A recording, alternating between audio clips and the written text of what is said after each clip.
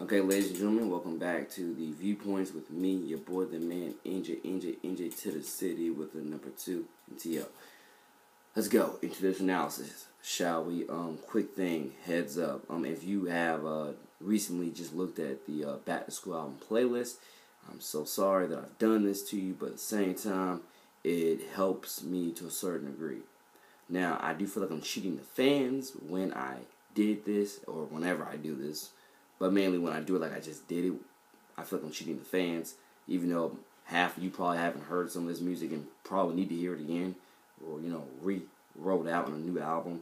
What I did was um, instead of giving you an entire 12 or more new songs, what I've just done is I've just put well not well you know the the viewpoints videos don't really count in that total what counts is the actual, songs that have already been released like two, three, four, five, six, seven months ago that I'm rehatching out or I'm re-rolling out on this new project just to fill up space on it, honestly. But the, the reason why I did it is number one, it's still useful towards the fact being if you haven't heard the song, it brings it back up to your attention. Number two, it actually fits the scheme fit because I wouldn't put it on here if it didn't fit the scheme fit, honestly. I look at that as you're still forcing material out there you know, for people in certain cases. And then it's just the fact being that, you know, hey, why not to a certain degree? Like, it does help me to a certain degree. But how does it help you? What it helps me with is because, like I say, I can't figure out whether to make this album, this back to school album that is for all my dearly beloved kids out there. Elementary, middle, high school, college, but definitely you listen to you know these songs, you're you'll think that a majority of them are for the middle and high schoolers, but hey, they're for everybody pretty much.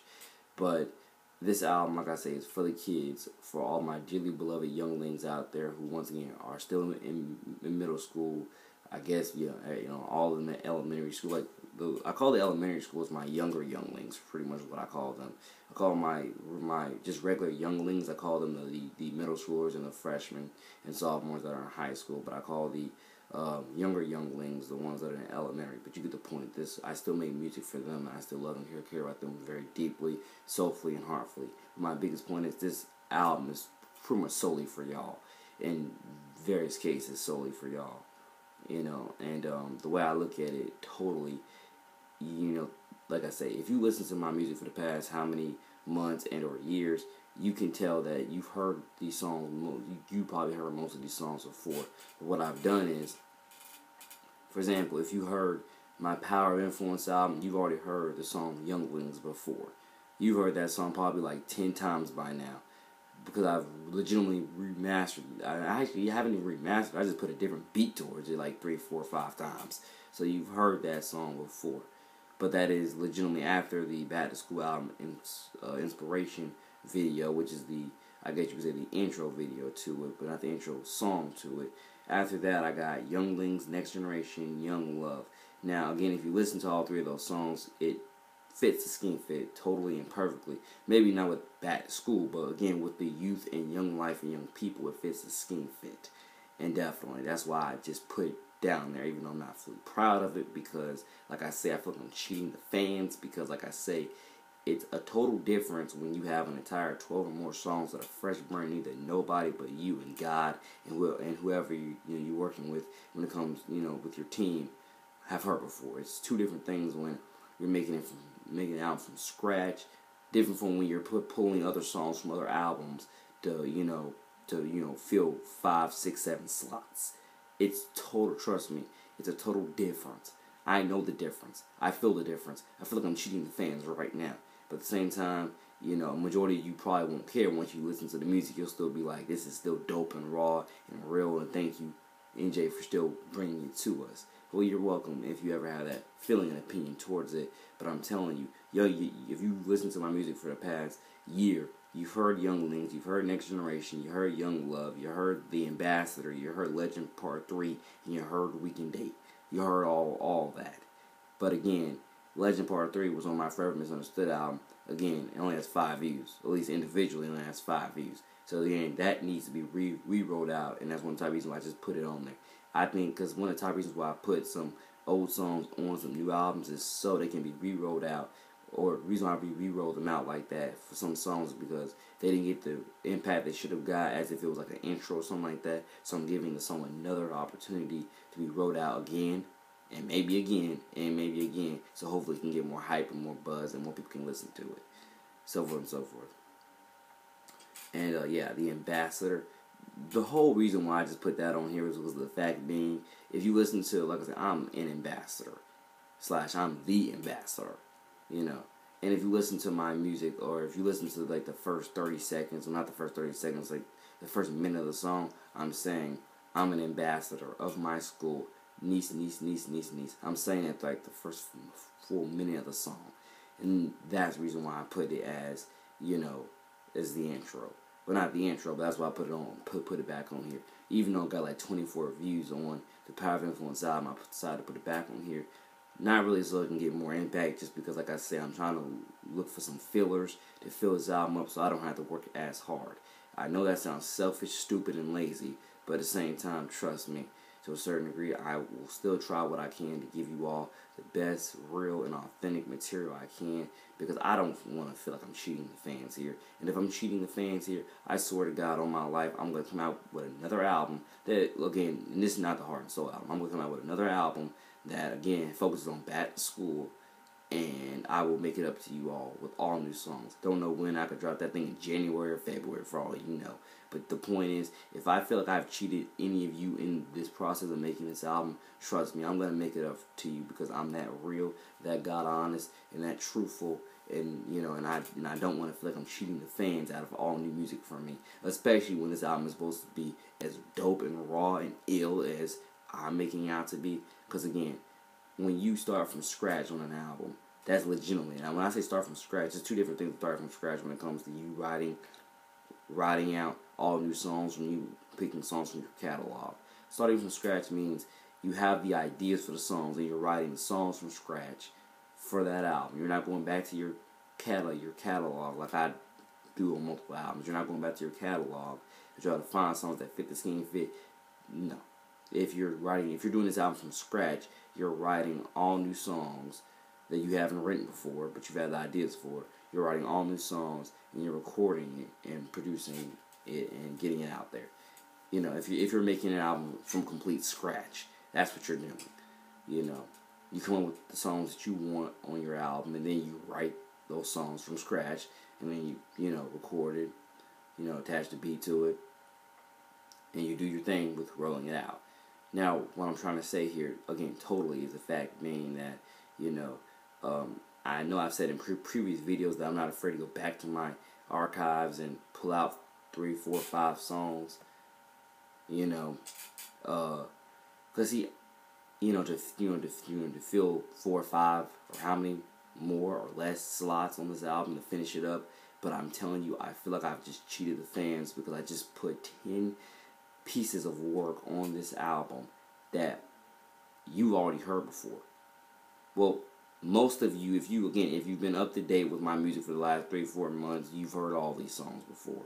Every last one of them. You've heard every last one of them before.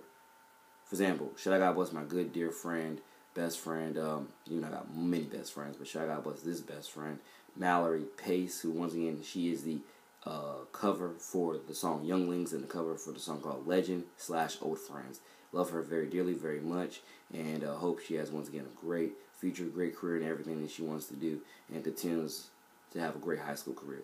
And once again, shout out bless my other best friend named Maina, who once again, um, I uh, what I do for her. Yeah, like I say, if you go back on the YouTube channel and go check out the song called Best Friend, which doesn't have a beat to it, but right there, the song of Best Friend, that's where I'm singing about her being one of my best friends. You know, so on and so forth. Nine minutes into this video. Once again, ladies and gentlemen, I feel like I've just cheated the fans, but again, because this this album was supposed to be from scratch, and I feel like I've cheated the fans because this album is not going to be from scratch, most likely. That's the problem. This album will probably not be from scratch. And that's how I feel like I've cheated the fans a little bit. Or not even a little bit. The way I just did it, I cheated y'all a lot. Because like I say, it's not to, it's not to say you're not going to get any music from me. Don't think I'm not going to roll out any new music. You're going to get a lot of new music. You, like, again, I put I just put 10, 10 bodies of work that, you know, I just put, t- you know, 10 ten tapes on here that, um, like I said, I put, like I said, I put Younglings, Next Generation, Young Love, The Ambassador, Legend Part Three, and Weekend Date on here. Again, songs that again, if you've been following my career, you already know, you've already heard of. Like I say, you know, the thing about it is, like I say, um, like it's not from scratch, so that's the point.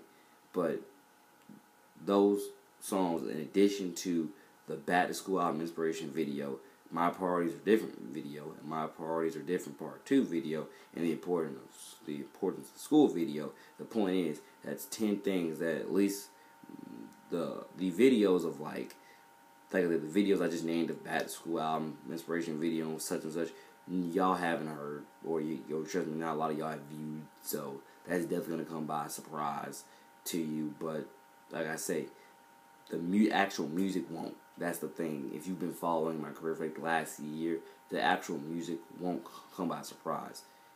Some to y'all still will, but the biggest point I'm trying to make here is that um, am I overall ashamed of, like I say, you know, not starting this thing from scratch like I hyped it up to be? Because legitimately, that's why I said that instead of making this album to come out in August, which probably should have originally came out in, but I was hard set on doing it in September because I feel like I needed just that much more time guess what? I've somewhat exhausted that time and or slash wasted that time to where, like I say, I'm cheating the fans now to where you guys aren't getting an entire, complete, um, how do I put it, new from scratch body of work, like I've said before. So, but again, if you know me, you know I got so much music to to make, to where again I will make it up to the fans eventually. You know, like what does that mean for us? That means, trust me, if this album is not what I told you was gonna be in the beginning of this planning period, like all from scratch, don't be surprised if I come back with harder stuff on, or don't be surprised if I come back like yeah with harder stuff on the Welcome to the Game album in uh, October, or don't be surprised if I do another Back to School album in January. Which is again, like I say, if you're focusing on timing it makes perfect sense because again, from Christmas break you're back to school, so it makes perfect sense, you know, for the second semester. But like I say, if I follow up through my plan, I'm not even supposed to be still, you know, in high school, you know, uh, in January. I'm supposed to be out with my diploma and come back as a volunteer. If I stick to the plan that I again carried out, well not carried out, but yeah, but I've again planned over the summer. That's what I was supposed. That's what I'm supposed to do. But again, uh, not only does everything happen for a reason, but plans change over time, and we totally see what happens when it comes to that. But my biggest point to you all is that if this album, Back to School album, is not what I told you originally it was supposed to be all from scratch, which is probably at this point not going to be all from scratch, I will do what I can to make it up to you all because I feel like I have cheated you.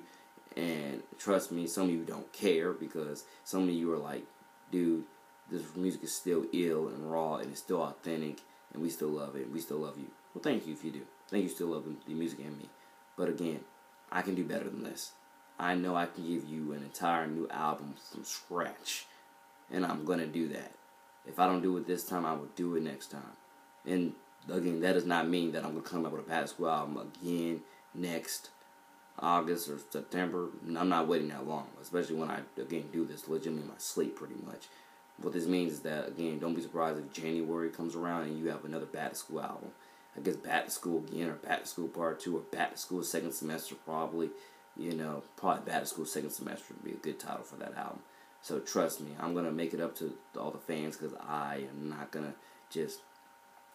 I'm not gonna. Then I have integrity. I have morals. I have identity. I have character, and I don't feel like I can do this to the fans when I told y'all that this album was supposed to be an entire from scratch album.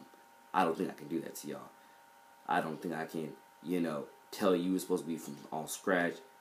And then next thing you know, like I say, the first 10 things, or at least when it comes to the music, or the first 10 items you see are songs you've already heard before.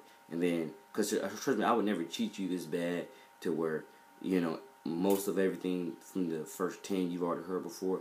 And then all I do is add two or five more songs. I would never cheat y'all that bad.